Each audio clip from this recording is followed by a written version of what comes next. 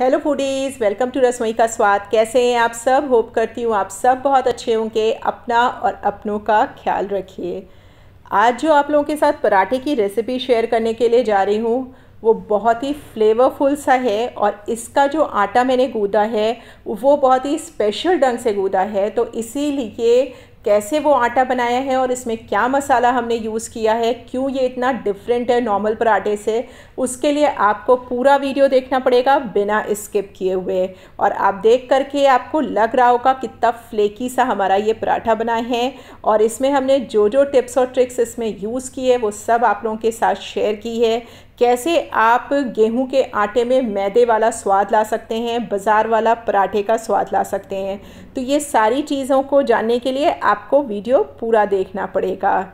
और हाँ फ्रेंड्स आप लोग ध्यान रखिएगा कि जो जो चीज़ मैं बता रही हूँ, बिल्कुल उसी तरीके से इस आटे को गूंथिएगा। तो चलिए, पहले बड़ा सा बोल ले लीजिए, उसमें डाल दीजिए दो कप गेहूँ का आटा। इसमें मैंने डाल दिया है एक चम्मच नमक और दो चम्मच पिसी हुई चीनी। आप साबुत चीनी भी ले सकते हैं लेकिन मैंने पिसी हुई चीनी ली है। अब इसमें थोड़ा सा गड्ढा कर लीजिए और इसमें हम डाल देंगे तीन चौथाई कप बिल्कुल खोलता हुआ पानी। बिल्कुल बॉइलिंग वाटर इसमें हमको डालना है। एकदम खोलता हुआ पानी लीजिएगा, उसको डालेंगे। हाथ बिल्कुल नहीं लगाइएगा क्योंकि आटा इस टाइम बहुत ज़्यादा गर्म हो गया है क्योंकि बिल्कुल खोलता हुआ पानी है। इसमें एक चम्मच हम डाल देंगे मक्खन और इसके बाद इसको मिक्स करेंगे अच्छी तरीके से। मिक्स करने के बाद हम जो है, जब आपको लगे कि आप इसमें हाथ लगा सकते हैं तब हम इसमें नॉर्मल वाटर लेंगे। बिल्कुल नॉर्मल वाटर लेना है। ना ठंडा होना चाहिए, ना गर्म होना चाहिए, ना गुनगुना होना चाहिए। नॉर्मल वाटर से हम बिल्कुल सॉफ्ट सा आटा लगा लेंगे।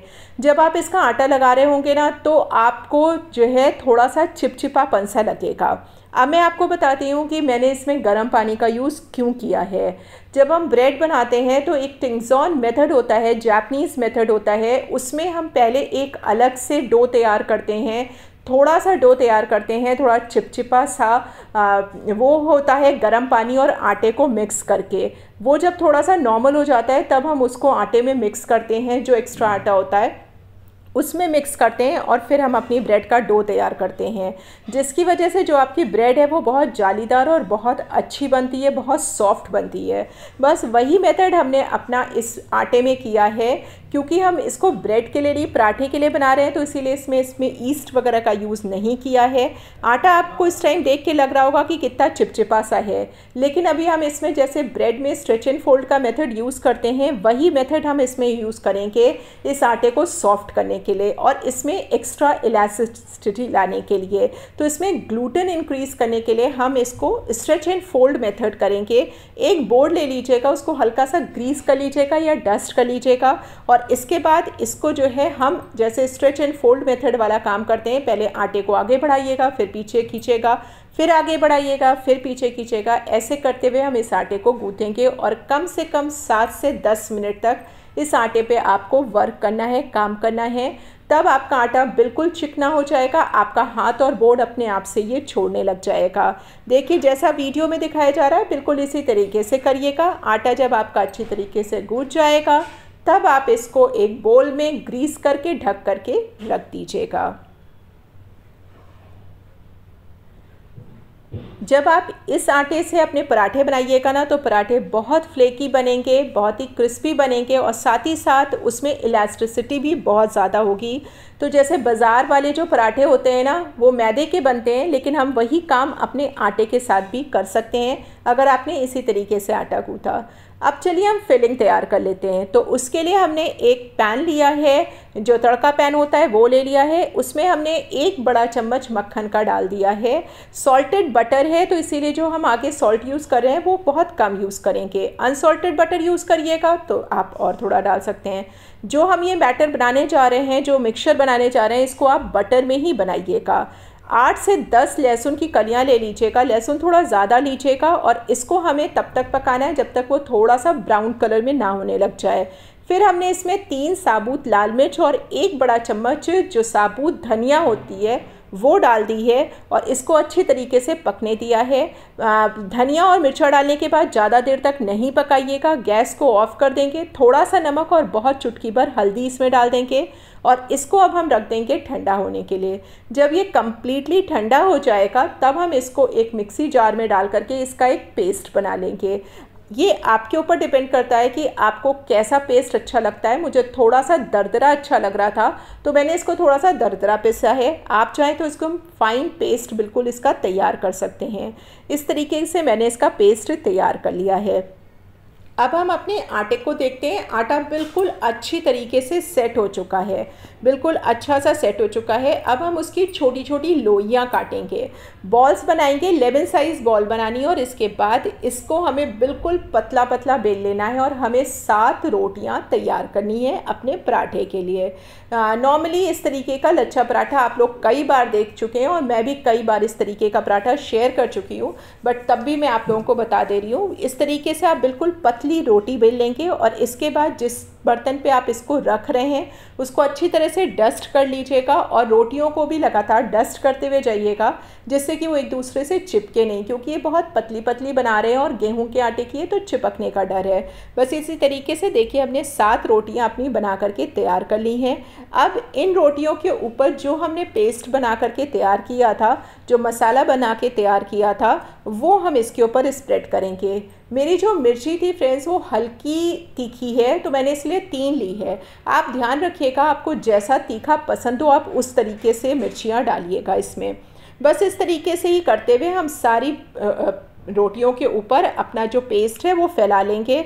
मेरा पेस्ट थोड़ा दरदरा मैंने बनाया, इसलिए मैं हाथ से स्प्रेड करी हूँ। अगर आप एकदम फाइन पेस्ट तैयार कर रहे हैं तो आप स्पून या अपने उससे ब्रश से भी इसको आप स्प्रेड कर सकते हैं।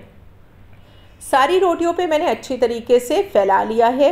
बिल्कुल जो मसाला हमने बना करके तैयार किया था ना, वो हमारा एकदम एक्यूरेट ये सात रोटियों में लग गया है। अगर आपको पराठे और बनाने हो तो आप ये क्वांटिटी और भी बढ़ा सकते हैं। मेरा जो ये मैंने सात रोटियों का लॉक तैयार किया था, इसमें से चार पराठे बन करके तैयार होंगे।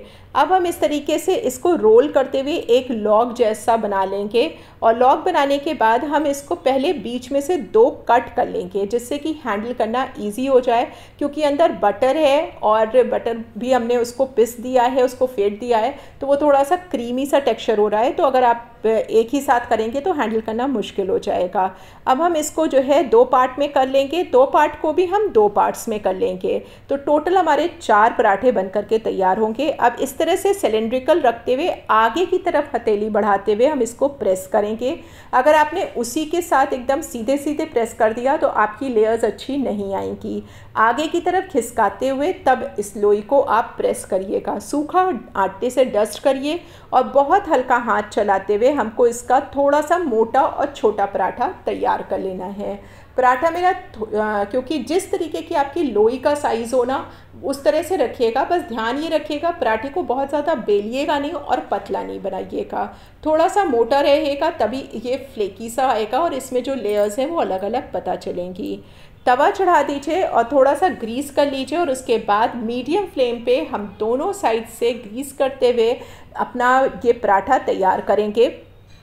फ्रेंड्स ये पराठे में इतने सारे स्वाद आएँगे कि आपको इसमें अचारी पराठे का, लहसुन मतलब गार्लिक पराठे का बहुत सारी वैरायटी आपको इसमें मिलेगी। और ये बस देखिए, हमारा पराठा दोनों तरफ़ से अच्छी तरह से सिक गया है। इसको उतारिए। वैसे तो ये पराठा सादा ही खाने में बहुत अच्छा लगता है। गरम गरम चाय बनाइए और पराठा खा लीजिए। आप चाहें तो उसको ब्रेकफास्ट में लंच में डिनर किसी भी टाइम बना सकते हैं। फ्लेकीनेस आप देख सकते हैं। कितनी लेयर्स वाला फ्लेकी सा पराठा हमारा बन करके तैयार हुआ है। ये पराठा आप बच्चों को टिफ़िन में भी बहुत आराम से दे सकते हैं। रोल करके दे दीजिए। बच्चे बड़े मन से खाएँगे। इसके साथ आपको किसी भी अचार या चटनी की ज़रूरत नहीं है। मैंने मिर्ची के अचार के साथ सर्व किया है, बट ये पराठा ऐसे ही बहुत अच्छा लग रहा था। मेरे बच्चों ने तो ऐसे ही खा लिया। आप चाहें तो जब आप ट्रेवल कर रहे हैं, अगर आपको कहीं बाहर जाना है तो भी आप ये पराठा अपने साथ बहुत आराम से रख सकते हैं, क्योंकि इसके साथ आपको और किसी भी चीज़ की ज़रूरत नहीं है। तो होप करती हूँ आज की रेसिपी आपको अच्छी लगेगी और आपने मेरा चैनल अभी तक सब्सक्राइब किया है कि नहीं किया है? नहीं किया है तो अभी के अभी कर लीजिए इतनी इंटरेस्टिंग और अच्छी रेसिपी के साथ। रेसिपी पसंद आई हो तो लाइक कमेंट और शेयर करना नहीं भूलिएगा। Bye take care thank you